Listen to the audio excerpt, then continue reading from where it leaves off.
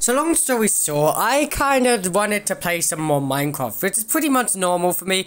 And I was just chilling on my Minecraft world, and uh, well, let's just say I had one of the luckiest moments in my survival world in existence. Just saying.